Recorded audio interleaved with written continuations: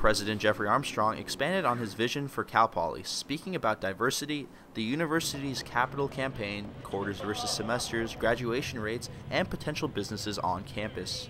Num- number one, I want people to know that whatever we do and as we move forward, we're going to stay focused on our, our really our, our founding principles.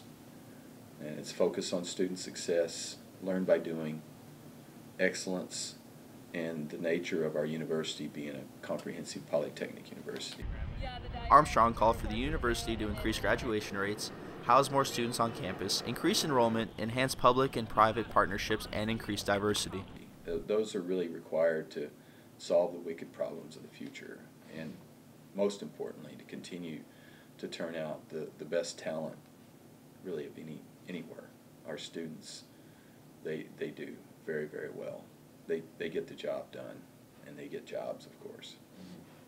President Armstrong decided on 2022 because it was far enough in the future to make the presentation about a vision rather than an immediate action plan.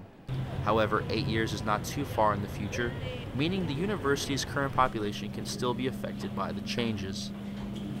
Julian Del Gaudio, Mustang News.